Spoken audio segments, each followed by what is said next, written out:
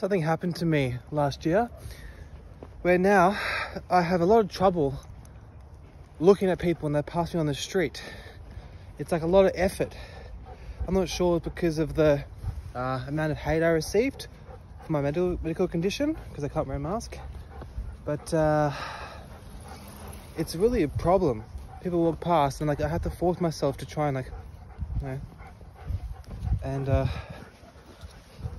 whenever I now I do look at them. And I notice no one else ever looks back uh, because everyone's been trained to be extremely scared of eye contact or is just registering someone else's uh, existence because they think they can catch a virus by eye contact.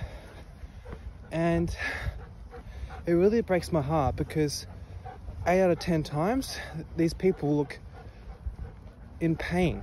They look like they've their thoughts are really negative and they look like they may be surrounded by people, but there's no connection. And I really feel for them. And I just want to go give them a hug. But I don't want them to think I'm crazy. And it's it's really strange. Like it's it's hard to make eye contact these days. Hey, weird.